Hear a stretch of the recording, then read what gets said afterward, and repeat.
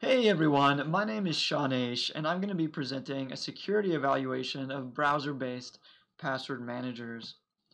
Passwords are still the dominant form of authentication on the web, but they have several serious shortcomings. Strong passwords have to be long and random, which makes them hard both to create and to remember as a normal user.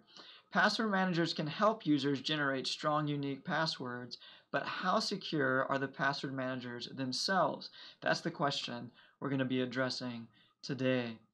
We're going to look at three stages of the password manager lifecycle, password generation, storage, and autofill. So password managers should generate strong, unique passwords. They should store those passwords securely, and then they should autofill those passwords securely into login forms in the browser. We looked at three different types of password managers, standalone apps like KeePass XC, extension-based password managers like LastPass and 1Password, and browser-based password managers like Firefox and Chrome. A few things to keep in mind. App-based password managers like KeePass XC don't automatically sync your passwords across devices. Uh, you have to put your password file uh, on Google Drive or uh, on a USB key in order to transfer it. In contrast, extension-based and browser-based password managers automatically sync your passwords across devices.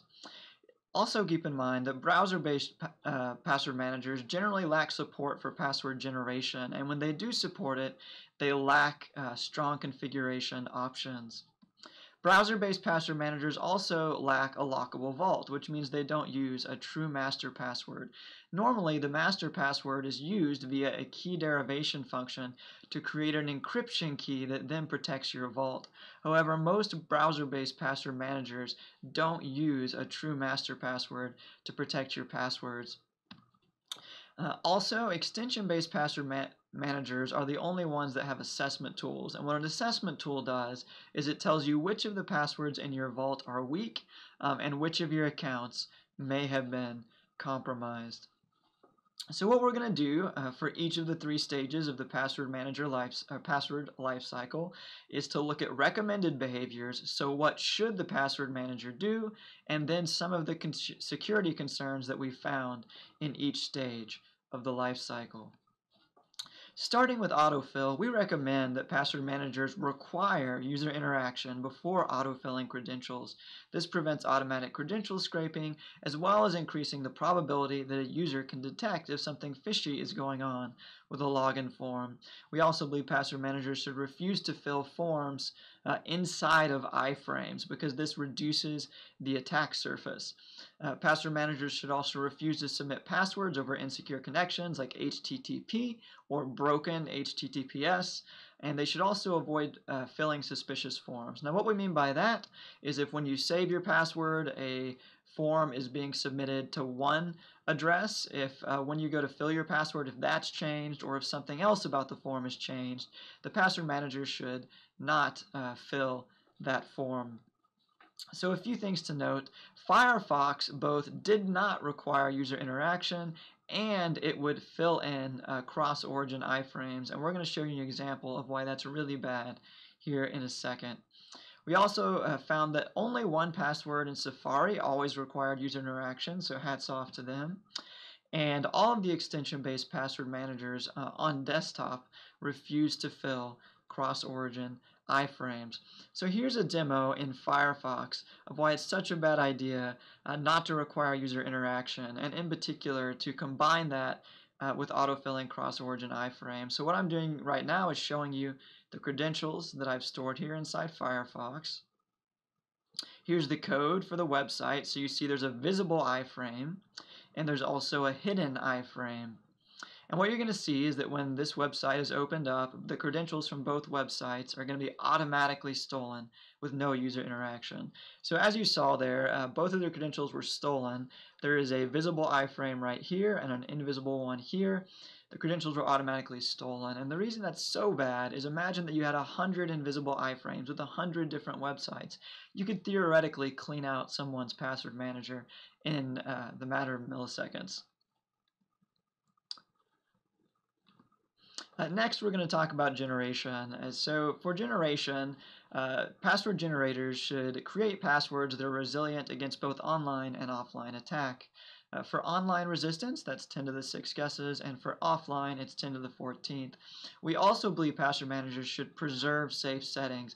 And what we mean by that is that let's say your password manager has a default length of 20 uh, with letters, symbols, and digits. Well, that's secure. But then let's say uh, to meet a weak password policy, you change your settings to length 8 with only letters and digits. We believe the password manager should restore those default secure settings to prevent you from creating a bunch of weak passwords over and over again. And what we found is that most password managers do not preserve those safe settings. We also found that password managers use very different symbol sets. Um, now, what symbol set you use could impact both security and usability.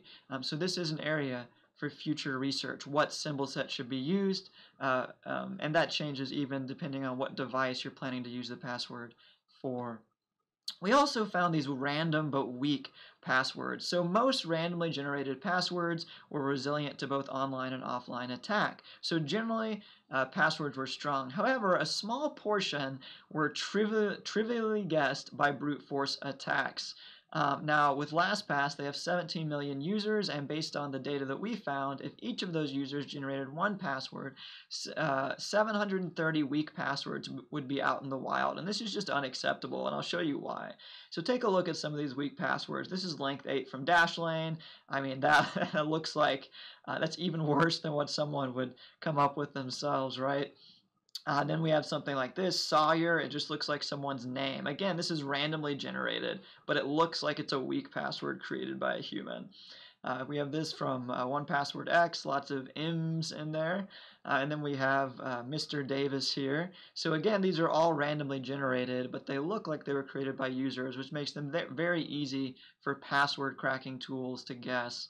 Um, so one way to get rid of uh, this issue is to in increase the minimum length for passwords. So a 10 character password would be resilient to online attacks. It would have none of these weak passwords uh, for online resistance, and length 18 would get rid of any of these weak passwords for offline resistance. Another way to fix this issue would be to filter out these weak passwords. The next area we're going to look at, look at is storage. And for storage, we recommend a strong master password because the master password represents a single point of failure, a strong key derivation function, and that all metadata should be encrypted a few things that we found, uh, most password managers don't really require a strong master password.